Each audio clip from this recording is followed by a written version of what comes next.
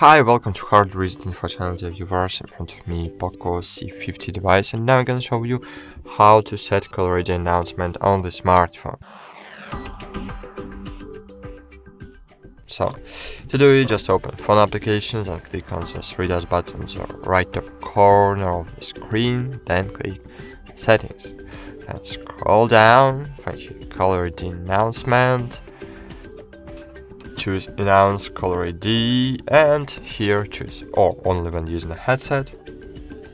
So when you will for example riding a bike and your phone will be in your backpack but you are listening to music with your bluetooth earbuds so and if someone will call to you so you will hear who calls you.